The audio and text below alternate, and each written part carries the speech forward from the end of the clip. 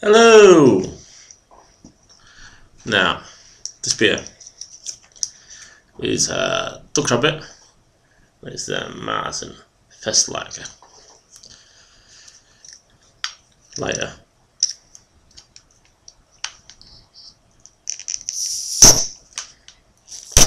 You know, when I was older, this came shot off straight away. The reason I'm using a lighter is because I want to preserve the cap as best I can. Past couple of times of doing it, I've scratched the hell out of it.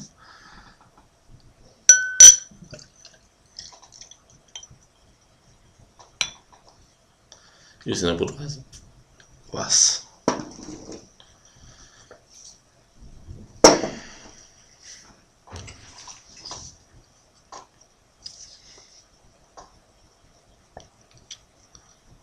There you go. There's a rabbit. There's a duck. There's smells. rabbit, duck. Rabbit, duck. Anyway.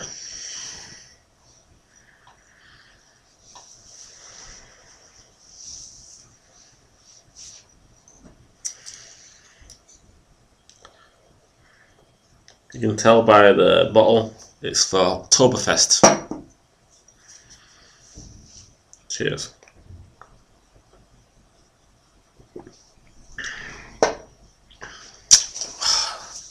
Hate wearing shorts sometimes. Uncomfortable.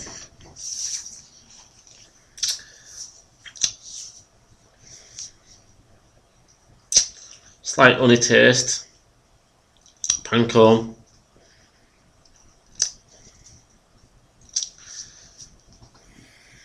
Bottle test.